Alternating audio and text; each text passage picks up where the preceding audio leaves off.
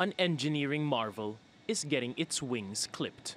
Airbus says the last A380, the world's largest passenger jet, will roll off the factory floor in three years. I use the word painful and I mean it. What we're seeing here is uh, the end of a large four engine aircraft, and that is what it is.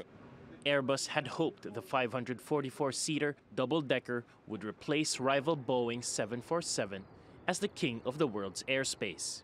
But a decade after the A380 first took flight, airlines have directed their reverence towards smaller jets that burn less fuel, are easier to fill, and make more money.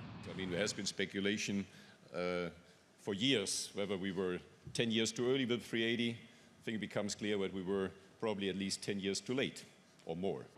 Demand mainly from Dubai based Emirates kept A380 production lines running for years. It's bought one third of the jets that Airbus has sold for $450 million apiece. But Emirates has slashed its most recent order from 53 to 14. Airbus plans to meet union leaders who represent the 3,500 workers in France, Germany, Spain, and the UK who work on the A380s. It didn't go so well economically, and Airbus went a bit wrong in their planning. Unfortunately, the calculation didn't work out. That happens from time to time, and you have to live with that.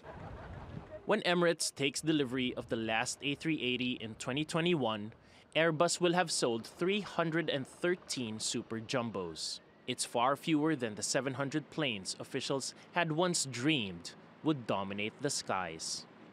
Paolo Montecillo, TRT World.